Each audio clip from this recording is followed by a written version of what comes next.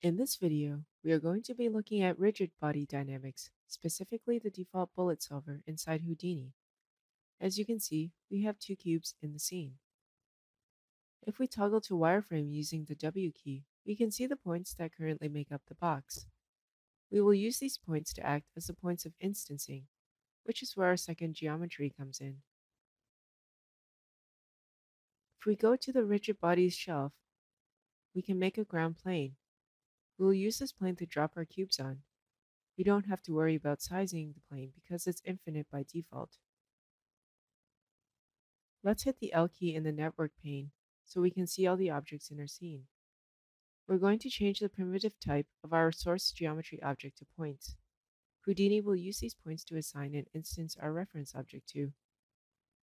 Click on the RBD point object icon and select the RBD packed object option.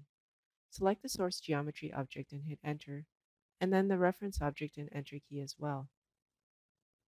Play back to see our results. We can scale out and crank up the points of our source geometry object so that we can have many more boxes.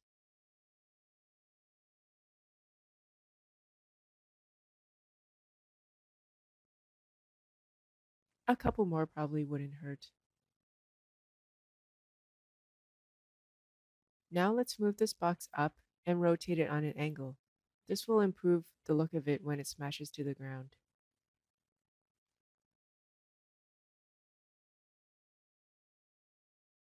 Now let's play back to see our results.